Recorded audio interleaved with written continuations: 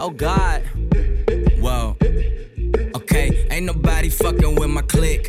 Click, click, click, click. Ain't nobody fresher than my motherfucking click.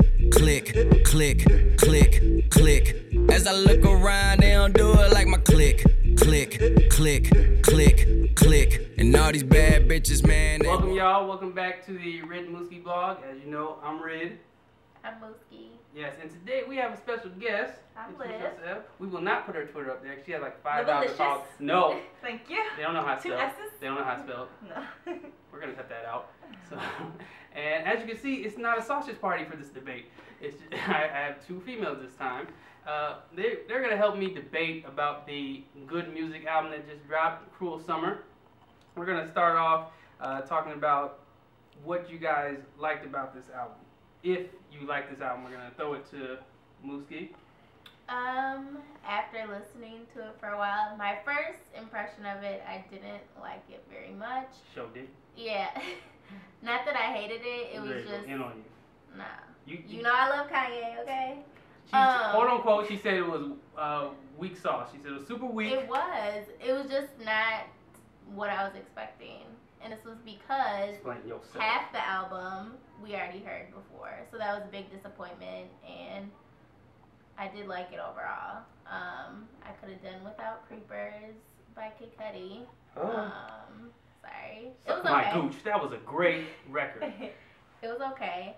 Um, I did like Bliss. That grew on me though. Uh, I guess that's more like a female song. And um, I did like Sin City and In the Morning the best of the new songs. Of course, I already like Click, Mercy, New God Flow. Um, I thought Pusha T really did well on this album. He was on like every song almost. So Okay. overall, I give it like an eight. If I had not heard all the other songs before. Uh, I just want to say, Mooski, you ain't shit for backtracking like that. First you said it was weak sauce, then you changed your mind. I told you. I told. I text. I should pull. I should pull out the text. I should pull out the iPhone. I ain't gonna do that because I ain't got the iPhone five, and I don't want people to be fucking with me about still having the four. I I want to touch on that. That's kind of the same thing that happened with my beautiful dark twisted fantasy. Uh, people that heard most of the tracks first is like, I don't get why people are calling this a classic. But over time, it didn't matter what song you heard first because when you go back and listen to it, uh, sometimes you forget what song you heard first. You listen to the whole album; it's a great album. Uh, Liv, what were your favorite uh, moments on the album? Um, it was kind of like it's not really like a turn up, and it's not really like chill. Like in this weird like middle thing. That's going Kanye. On. Go ahead. Yeah, well, that is Kanye, but like normally I can vibe with Kanye, and I was trying to find the vibe. I couldn't really find it, but then again, I haven't listened to it like as heavily, so that might change my mind. But there was some some cuts, good features. Mm-hmm. And with, which is a great segue, we're gonna talk about the features on this album. What were your favorite features? Were there any features you hated? Like what? What was the what was the wax sauce on this album? The wax sauce, no weak sauce. Um, The Dream. I was really disappointed. That was random. It was it was kind of random. Like usually his songs are good. I don't know. It made me not want to listen to the song at all. I don't listen to it because his part is so long in the beginning. Um, usually songs that he's on, he can be okay on the hook, you know. But yeah, he did too much. Um, Mase was random, who was also Don't the you song. dare say shit about Mase. Mase Just is said a it was legend. random. Not that I didn't like it. Lucy fucking tripping. Mase is a motherfucking legend. I'll, I'll, I'll say I'll say it again, just like I said in the video. Mase is a motherfucking legend. You don't say things like that about Mase. He what he did for the game in the late '90s. The man retired at the age of 20. You gotta respect what 20 year old can leave on top like that, which is kind of weird because Kanye had that line, "Don't leave while you hot." That's how Mase screwed up, and then now Mase is on the album. I don't know why he was super hyped about bass though. Wasn't that great? Now, Liv, I remember you telling me earlier that uh, you you actually liked the song with Cudi, Creepers. Yeah, it was very Cudi esque. Yeah. Very Cudi. I love Cudi. He Well- was being his normal. What was your What was your favorite line on that song? Because you have the Oh, same yeah. favorite line as me. on Oh yeah, what did he say? Oh yeah, if he could have a wish, he would wish for more wishes. Duh. that part was funny. It's not that I dislike the song. It's just weird that that's the only song with just one person on it, and It, it, felt was like. Cudi's song. Yeah. It was Kanye song. like, was was Yeah. overshadowed. It was It seems song. like it was just like put on there. But that's Um, also so. Yeah, he's G.O.O.D. Music. Yeah, he, he But is. He's on like all their but he- Cudi, like ad libs. Yeah, and they're but Cudi, you know, he's like like you said, he's Mr. Solo Dolo. He's he's not really a person you have like on for a feature unless you're doing the hook. So I understand why they would give him like his own solo song. Like I don't because I don't who would you put on that song with him or how would you But fit he him with is on like all their hooks. That's that's why I said he's good for hooks. But I'm saying like featured him like for a verse or anything. Yeah, I guess that's You know, true. you're gonna put Cudi on an album, I understand because it's a compilation album. You know, so it's a different amount of artists. CyHi the Prince was good. Oh, they Yeah, just have um a video on World Star with them all freestyling on there. It was like Pusha, him, and Common. I mean, I guess Pusha didn't actually do it, but Side went hard. He like with the Yeah. hardest. Yeah, Side Side, yo, he's good with the verses. And Big Sean. Yeah, too, And Big Sean did good. Now I want to talk about Pusha T. Pusha T, you, I think he got the most play on this album. I think He did. yeah, he got Yeah, a lot. definitely. But I, I, actually, I'm not mad at it because I like how he starts off verses. He's the best verse starter Yeah. today. Like you, you, even if he doesn't snap the rest of the verse, he gives you that feeling like this is about to be epic before he starts. his Especially verse. if you don't like.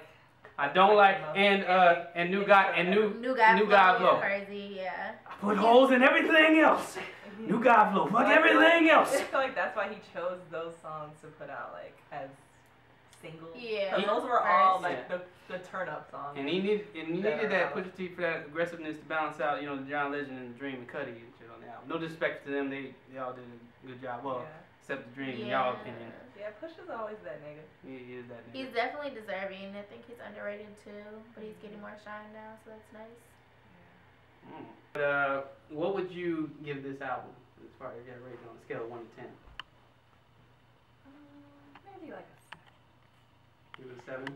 What if it was not as many songs that you heard before? Yeah, still probably. Still seven? It was just weird to me. It's Like, definitely seemed. Like, I- um, there I was an like article that said it was like his laziest work, which is probably yeah, true. That is probably like, I just felt like it wasn't like. He's complete. usually a perfectionist, Yeah. and it was just like, okay, it's kind of just like thrown out. Which brings me to one of our final points, like him releasing so much stuff, which he doesn't have to do. Oh, yeah. They they proved they proved that with like Watch the Throne with him and Jay Z, like where they kept everything secret. The only thing we heard was Otis that made that made the final cut of that album, and they kept everything secret, and they decided to release it, so it's all new to us. He doesn't have well, to. He doesn't have Joy to. I heard he heard before, way I before just then. feel. I'm saying, I'm saying, but like he doesn't have to release songs for promotional things. He Oh, can, yeah. he can say, "Hey, I'm dropping an album tomorrow," and that shit will sell. Yeah. People will be on it, and it, and it will sell records. I just feel like the overall. So you think that hurt? Like you think that hurt the beats- album? That that uh, they, Not so much, cause anything he puts out, like if it's good, it's Yeah. good. Period. Like doesn't matter if he put out fucking shit every day. I had to be a part of this, this episode because you know it was three people who knew what they were talking about, other than Drew. Okay, we don't need Drew's bullshit on the tapes. Um, yeah, but overall, I mean, you know, it was cool. Cruel Summer was a great album. That was a really good album. I thought it was really. I think yeah, kind of did hurt at first that we heard half of the tracks before we heard it, but just like my beautiful dark twisted fantasy, months later we're not gonna care about that because I can still play that album all the way through, both Cruel Summer and my beautiful dark twisted fantasy. So it's still a, it's still a great album. I give I give that album an eight. I give it an eight. It was a lazy effort, but it was still good quality music, and it was still way better than the MMG album. I probably made hella weird faces, but that's okay. Liv, what the fuck was that you were doing with your lip ring though? What the? Look, w- watch the video. She, I still fuck with you though. I still fuck with you, Liv. I would not, I, I, but I love Liv. I can never say anything bad about Liv. I'll never say anything bad about any girl that can windmill dunk on me. CD was good. Um, it definitely grows on you, so keep listening. It'll get better. Mooski said that the shit was weak sauce, and I told her the album will grow on you. Maybe it'll grow on you. Said, nah, it's not gonna grow on me. Wrong. Fucking wrong. Wrong, Moose. Wrong as always. It grew on you. I knew it, and you gave it an 8. You fucking Kanye lover. You're so biased.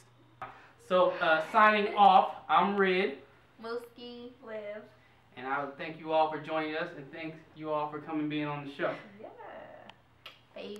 I mean, got the game fucked up. my clique. And all these bad bitches, man, they want the, they want the.